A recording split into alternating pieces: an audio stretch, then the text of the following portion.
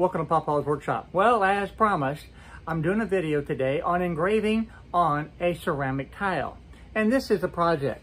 I wanted to take that same compass rose and do a very detailed engraving just to show how well this looks. This is fantastic. The detail in this is amazing. It is very, very easy to do. And today I want to show you exactly step by step how to be able to do this and get the same results. So let's get started. The first step in this process, of course, is to have the ceramic tile, and you can pick those up at any of the big box stores. Now I'm using denatured alcohol to be able to clean the ceramic tile. So I just take a paper towel, put a little bit onto that, and I am going to clean the tile really well. I want to be able to get any dust, oils, grease, anything that might be on the ceramic tile, I want to be able to remove it. That way, the paint is going to be able to stick very well to this ceramic surface.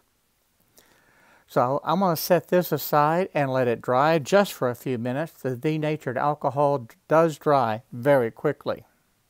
The paint that I'm choosing to use today is the Rust-Oleum Gloss White, and this is the Ultra Cover Paint and Primer.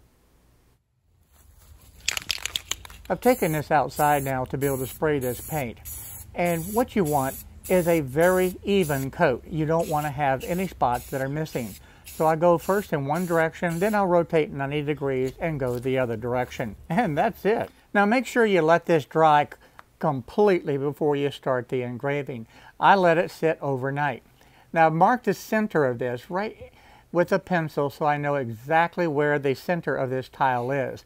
Because as you know, I use the center point as my point of origin for my XY0. And with that now marked on the tile, the next thing I want to do is go ahead and get the Z height established. Now this is a 30 millimeter uh, cylinder that is used to be able to set the um, Z height. Once that is done, I'm going to go ahead and move it over and set the XY0 right on that center point, that little small pencil line that I made right in the center of the tile. I turn on the laser first and then I open up Lightburn.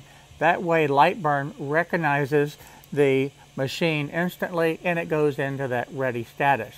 Now for this I'm using a compass rose that I used to engrave the glass. Same exact file. The only change that I'm going to make is I'm going to go ahead and delete the find your way because all I want to be able to do is have the compass rose for this tile. When I used this file for the glass engraving, it was 2 inches by 2 inches. Well, this tile is about a 4 inch by 4 inch. I want to make this larger.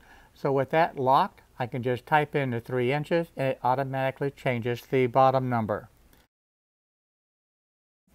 Now let's go ahead and set the XY0. So I click on the move file, hit the fire button, and that turns on the laser so I can actually adjust this and have it dead center in the tile. The next thing that I want to do is change the speed. I want to reduce this down to 20 inches per minute. 20 inches per minute is going to make it where it will take just a little bit longer to be able to cause the burn. And I'm turning off the air assist. Now this is based on some experiments that I did with another piece of the glass where I spray painted it and did not get the results that I wanted. So today I'm slowing it down and I'm turning off the air assist. Some people have asked about the millimeters. Well, to be able to convert this from the 20 inches per minute, now that's 508 millimeters per inch. So I'm going to go ahead and switch this back to my inches, click OK, and time to grab the glasses, and let's go ahead and start this. I want to zoom in real close, and I want you to pay particular attention to the bottom half of the S. For some reason, it is very light, and I have no idea why. The rest of this engraving is coming out absolutely beautiful. Now once this is done, I'm going to show you how we're going to go back and fix this problem. Now I want to zoom in real close so you can see it. It is significantly lighter than the top half of the S and the rest of the engraving that's being done. I wish I had an explanation that I could share with you, but I truly do not know what caused that problem. But I do have a way to be able to fix it, and once the engraving is completed, I'm going to show you how we're going to fix this problem. Okay, the engraving now is finished, and I want to let you see this one more time. That S just looks horrible. So what I'm going to do, without moving anything at all, is come back up and hit the start button. It's going to go ahead and begin a second pass. Now if we zoom in real close, it is doing an excellent job.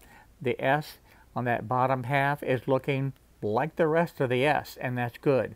I'm going to go ahead and let that second pass continue for the entire letter, and then I'm going to go ahead and just stop it. I'm not going to have the whole engraving repeated. So by hitting the stop button, that will complete my second pass. The S now looks fantastic. And by comparing the S with the rest of the engraving, it looks perfect. And that's what I was hoping to be able to do. Now, let's go ahead and do the last step and clean this. I'm taking a steel wool and I'm taking lacquer thinner and I'm literally scrubbing this tile to remove the paint. The white paint, if you notice, looked very good, but you want that gone. You want the white paint completely removed and you want that uh, natural tile to be able to show through. You're not going to hurt the ceramic tile by scrubbing it with steel wool and this will remove all of the paint. The last step of this is just take a clean paper towel and with the lacquer thinner on it, I'm going to wash off the ceramic tile. This will remove any remaining residue that is left from the paint and it will clean the tile completely. Now this is permanent. You can scratch this. It is actually etched into the tile itself. This is not going to come off. So you can actually use this as a coaster for everyday use and it's not going to hurt it. You could also literally create any type of pattern and if you're remodeling a bathroom or a kitchen, you could use this process to have some decorative tiles added to the decor. What a wonderful idea and an opportunity to really make a one-of-a-kind project. Thank you for watching today. I think this was an absolutely fantastic project, and if you agree with me, please go ahead and give me a thumbs up, and by all means, subscribe by hitting that little button right down below and the little bell notification next to it, so you won't miss out on the videos. I can think of a lot of Christmas ideas using this technique, and I can't wait to get started to be able to create the designs and start engraving. I want to get an early start on Christmas gifts this year. I also want to take this opportunity to thank all of my Patreon for supporting this channel. Your support goes a long way to be able to make this channel successful, and I really appreciate each and every one of my Patreons. I sincerely hope that you will try this process. It's really quite easy to do and the results are absolutely amazing. I also want to take this opportunity to thank all of those who are watching this video today and I look forward to seeing each and every one of you in the next video that I do, whatever that may be.